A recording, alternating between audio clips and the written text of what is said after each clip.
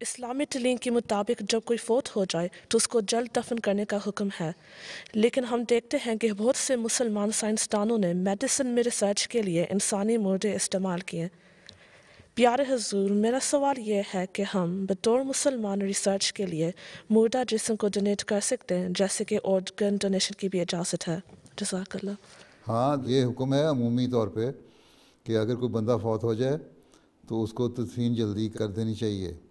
लेकिन अगर इंसानी फ़ायदे के लिए, इंसानों की जान बचाने के लिए रिसर्च के लिए, मज़ीद तहकीक के लिए, अगर जिसम के ऑर्गन को, मुख्तलिफ़ किस्म को देखते हैं, इनको इस्तेमाल करते हैं या थोड़ी देर तक दिल भी अगर धड़कता रहता है, उसको देखते हैं या दूसरे ऑर्गन जो काम कर रहे हैं, उनको भी इस्तेमाल करते हैं, फिर बाज़ लोग अपने ऑर्गन डोनेट करते हैं, उनको आँखें हैं मसलन तो वो कुछ अर्से के लिए फिर वो रखते हैं और उसको जल्दी से निकालने की कोशिश करते हैं ताकि दूसरे को वो ट्रांसप्लांट की जा सके। इसी तरह दूसरे ऑर्गन हैं। तो रिसर्च के लिए या इंसानी फ़ायदा पहुँचाने के लिए?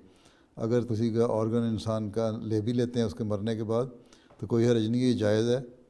और इस, इस तहकीक के लिए लेकिन अमूमी तौर पर यह है कि अगर कोई मकसद नहीं है बिला वजह मुर्दों को लंबा अरसा नहीं रखना चाहिए। कोशिश ये करनी चाहिए कि जल्दी दफना दो। ठीक है?